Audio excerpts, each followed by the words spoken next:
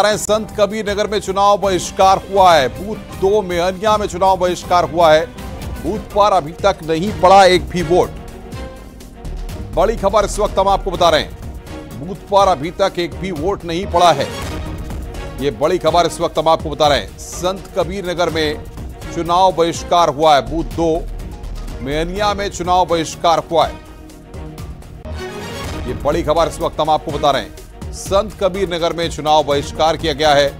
ये इस वक्त की बड़ी खबर।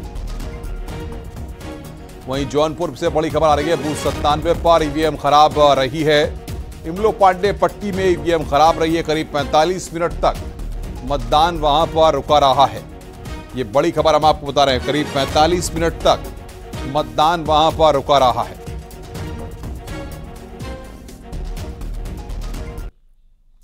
वहीं प्रयागराज में डिप्टी सीएम केशव प्रसाद मौर्य ने न्यूज़ एटीन से कहा कि मतदाता विकसित भारत के लिए वोट कर रहे हैं, भारतीय जनता पार्टी की बड़ी जीत होगी।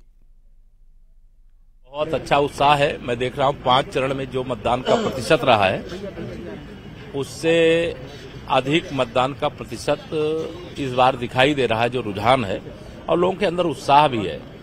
और जब शहर उत्तरी का मतदाता घर से निकलना शुरू कर दे तो यह आप समझ सकते हैं कि मज़बूत भारत के लिए मज़बूत प्रधानमंत्री लोग बनाना चाहते हैं ये आपका ये गृह क्षेत्र भी है यहाँ दो सीटें हैं। आपने फूलपुर पर पहली बार जो है कम, कमल खिलाया था और एक ऐतिहासिक जीत दर्ज की थी तीन लाख से ज़्यादा इस बार दोनों सीटों पर किस तरह का देखते हैं?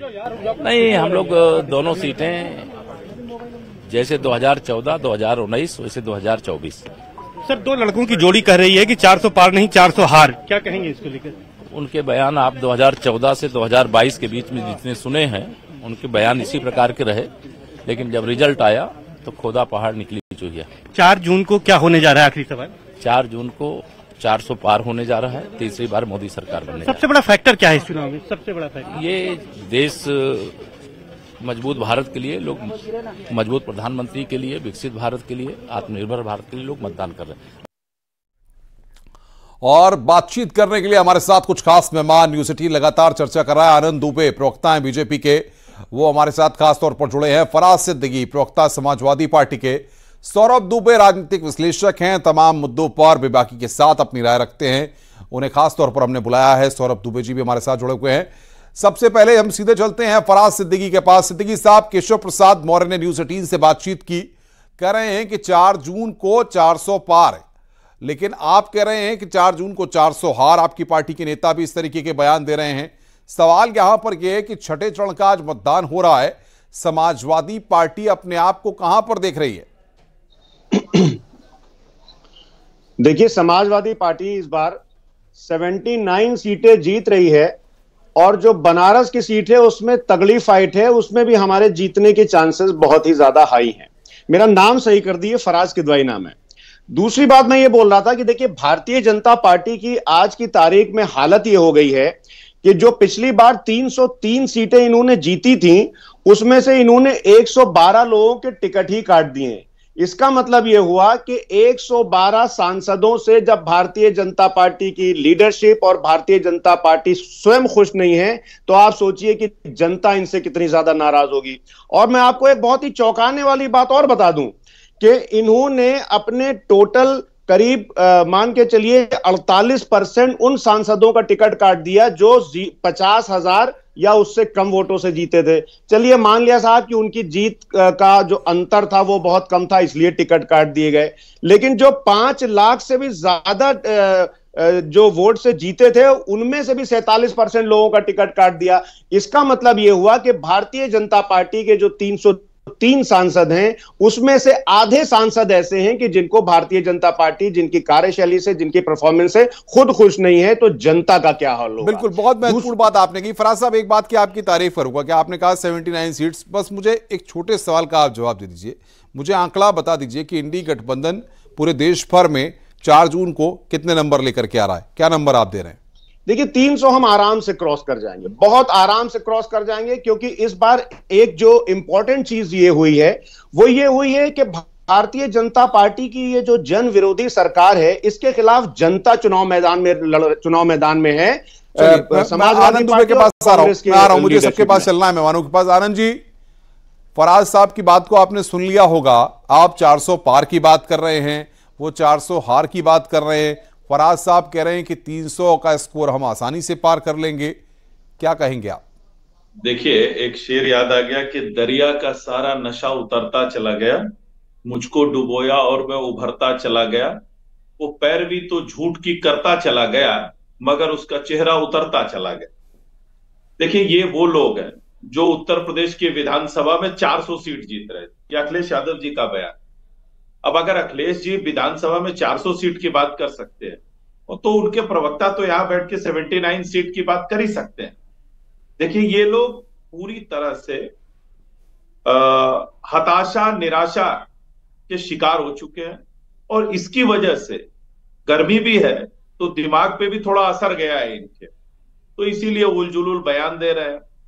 बता रहे हैं कि उत्तर प्रदेश में 79 सीट जीत रहे अरे उत्तर प्रदेश में आपकी जो बची हुई सीटें थी वो बचा लीजिए तो बड़ी बात है।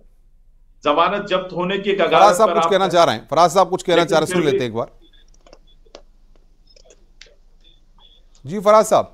देखिए गर्मी का जो असर है मुझे लगता है कि माननीय होम मिनिस्टर साहब के भी कुछ हो गया था।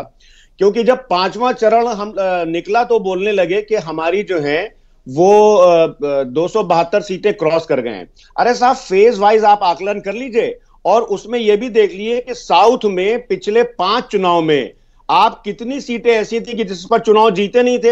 अरे साहब जितनी सीटों पर ठीक से चुनाव लड़ नहीं रहे उससे ज़्यादा बता रहे हैं कि जीत रहे हैं। और आनंद दुबे जी हमारे भाई हैं ये बोल रहे हैं गर्मी का असर मेरे ऊपर हो गया।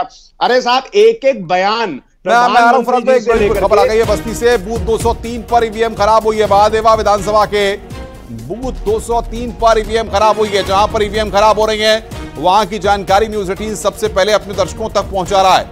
हम चाहेंगे कि आयोग के अफसर अगर न्यूज़ एटीन देख रहे हैं तो तत्काल संज्ञान लें, क्योंकि ऐसी जगहों पर जहाँ पर मतदान रुक रहा है, वहाँ पर दिक्कतें होती हैं लोगों को।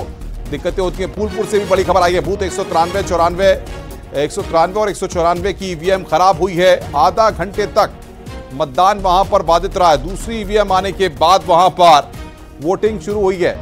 ये बड़ी खबर हम आपको बता रहे हैं।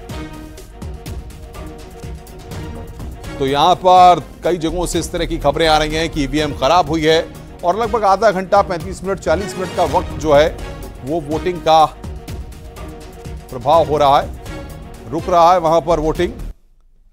और आजमगढ़ से समाजवादी पार्टी के प्रत्याशी धर्मेंद्र यादव ने अपनी जीत का दावा किया है। आ, लोग बहुत व्यापक सहयोग करेंगे समर्थन करेंगे लोकतंत्र बचाने को संविधान बचाने को आरक्षण बचाने को और बीजेपी की नफरत की राजनीति को खत्म करने को। आज भी सोचिए दिल्ली में किस तरह का बयान दिया गया है।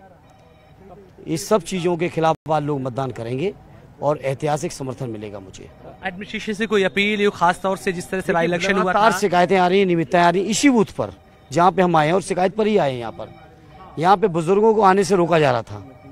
जब हमारे यहाँ के वर्कर्स ने फ़ोन किया तो मैं आया हूँ। लेडीज़ बुज़ुर्ग बीमार लोगों को लाने से रोक रहे थे एडमिनिस्ट्रेशन के लोग प्रशासन के लोग। इसीलिए उनकी खबर पर ही मैं यहाँ तुरंत पहुँचा हूँ। सदर के अलावा कई सारे विधानसभा और हैं फूलपुर है सगड़ी है वहाँ को लेकर क्या खबरें नहीं लगातार शिकायतें तो हैं लेकिन समाधान भी हम लोग तत्पर हैं सारे लोग। एक्टिव एक्टिव मोड पे हैं कोई दिक्कत नहीं है। और ऐतिहासिक जीत होगी। जनता निकल रही है जनता का सब शुभकामनाएँ सद्भावनाएँ।